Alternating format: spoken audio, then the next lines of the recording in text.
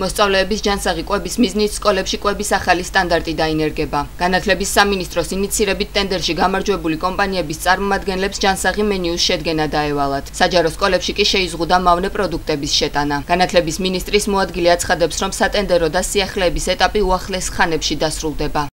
ბუფეტებთან დაკავშირებით ministris ძალიან კაფე ოპოზიცია არის რომ მხოლოდ ჯანსაღიყვება შეიძლება იყოს სკოლებში აქედან გამომდინარე ჩვენ მართლა შევზღუდეთ ისეთი ტიპის ბუფეტები სადაც იყიდებოდა მხოლოდ მოგების მიზნით ძალიან ბევრი მავნებელი სკოლები ახლა სტანდარტები შემოვიღეთ როგორც იცით თვითონ კომპანიებისაც იქნება სტანდარტები არა მარტო ყვების არამედ როგორ უნდა მოიქცეს სისუფთავე როგორ უნდა დაიცვას. ეს ყველაფერი შეიძლება რაღაც პერიოდი დისკომფორტი განაპირობოს რომ არ არის ბუფეტი შესული მაგრამ მერწმუნეთ ჯობია რომ ხარისხიანი და სტანდარტებიანი ბუფეტით დავიწყოთ მუშაობა ვიდრე თუნდაც ცოტახანი ბავშვები მოუწავლოთ იმით რასაც ხანდახან აჭვევენ ხოლმე ამ ბუფეტებში.